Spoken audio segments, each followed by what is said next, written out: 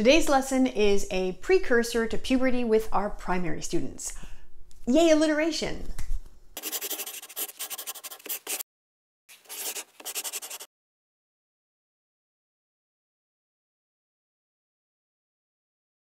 Hi, I'm Nadine Thornhill, sexuality educator. If you are new here, welcome to my channel.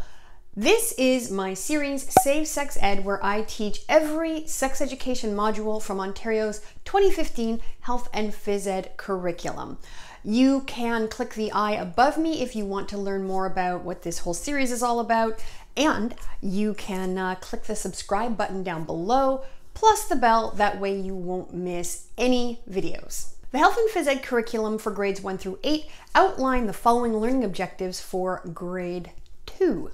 Outline the basic stages of human development, infant, child, adolescent, adult, and older adult, and outline related bodily changes, and identify factors that are important for healthy growth. This is really about teaching children that bodies change as they age, and later on, they will learn how puberty is a significant part of that human growth and development. For this activity, you're going to need five containers. So those could be uh, buckets or bowls, or if you have, you know, Tupperware containers, or you have those, um, you know, children sometimes have those containers that are nested inside each other. And if you can find containers where they get progressively larger, that's great. But if you can't, it's not necessary. You're also going to need something to fill your container. So that could be like beads or balls or little bean bags. Uh, you can use like little pieces of Lego. Before you start the activity, you want to label each of your containers. So if they are, you know, containers that are different sizes, start with the smallest. If they're all the same size, it doesn't matter. You're going to label them baby, child, teenager, adult, older adult, or elder. Gather your class or group together and show them the first container labeled baby. Now ask them, what are some changes we might see in a baby's body as they begin to grow?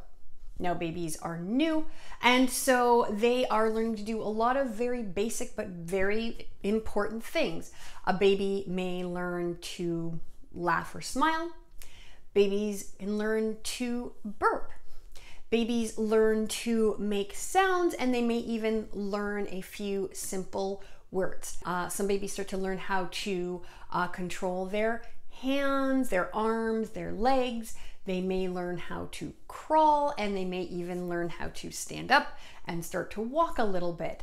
Now, each time a group member mentions a change that happens in a baby's body, you can uh, put a little bit of your your filling into your container, or you can have you know your students or your group members you know put the filling in as they come up with different things. You can mention here that while many babies learn to do these things, or their bodies will go through these changes, uh, some babies won't uh, go through these changes until they're a little bit older. And then there are some babies who won't go through all of these changes because everybody's body and everybody's brains are different. Next, ask what babies need to grow healthy and strong. And again, you know, put a little bit of your filling, your stones, your water, your snow, your sand, whatever, into your container as you get the answers. Some things that most babies need to grow strong and healthy are things like milk, and when they get a little bit older, uh, some nutritious food. They need love. They need uh, play. They need space to move around. They need uh, interaction or stimulation. So they need to be talked to. They need to be played with. Um, most babies need to be held or cuddled. Mention that while a lot of babies need these things to be happy and healthy, again, bodies are different and babies are different. So, for example, some babies are really sensitive to touch and don't actually really like being held that much. Some babies are born earlier than expected and they may also need, you know, to be in the hospital longer. They may need to be connected to machines to help them grow to a weight where they are strong enough to go home and live with their families. Now explain that as a baby continues to grow, eventually that baby will become a child. Now, if you have containers where one is larger than the other, this is when you can take the contents from your baby container and pour them into the container marked child because all of the things that have helped the baby grow will also be part of that child.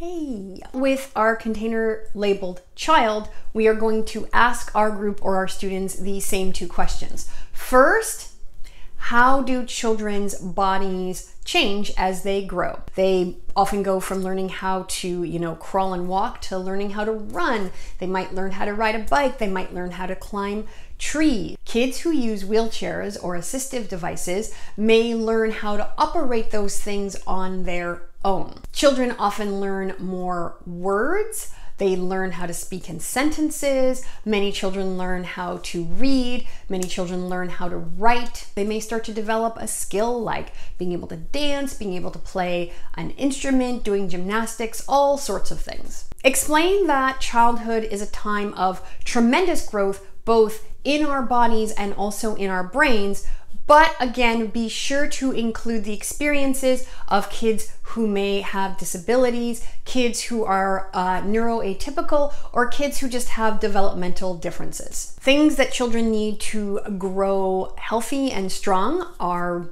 love. They need a safe place to live. They need uh, healthy food, fruits and vegetables, and whole grains, and calcium, and all of those good things. Children also need responsibilities, so that may be things like uh, chores or helping around the house. They may be able to take on some more responsibilities in terms of being independent. Maybe they can uh, walk to and from school on their own. They may help to take care of a pet, but that is how children learn what they're capable of and it helps them to develop skills that they will need as they get even older. And so you are going to move through your buckets and move through the life stage in this way, talking about the changes that occur at each life stage and the things that people need at each stage of life to continue to grow and thrive. I will have a handout on my website that lists the various life stages and some changes and also uh, things that people need to grow and thrive at each stage. And you can uh, download that either by clicking the eye above me. I will also have it linked in the description down below. This also seems like a good time to mention that a lot of my knowledge around human growth and development comes from a very like Eurocentric colonizer type model. There's an example in the curriculum that mentions um, the Anishinaabe approach to the life cycle. So something interesting to do might be to get, you know, an indigenous educator in your classroom to talk about, you know, human growth and development from a different cultural perspective. And if you do that, um, pay that educator well because that is really valuable knowledge uh, that is, and you know, they're taking the time. So pay them.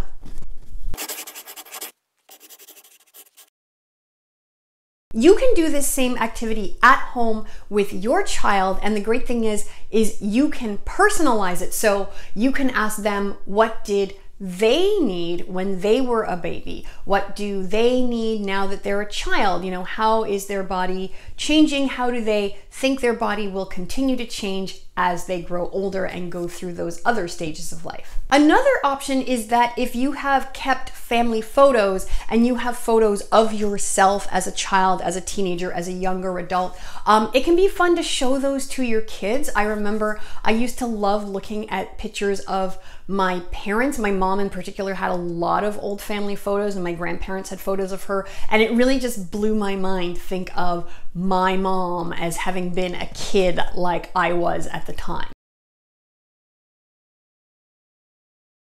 What do you think you'll be doing in 10 or 20 or 50 years? What do you think I'll be doing in 10 or 20 or 50, however many years you want. What age or stage of life are you most looking forward to and why? Is there an age or stage of life that you are not so much looking forward to and why?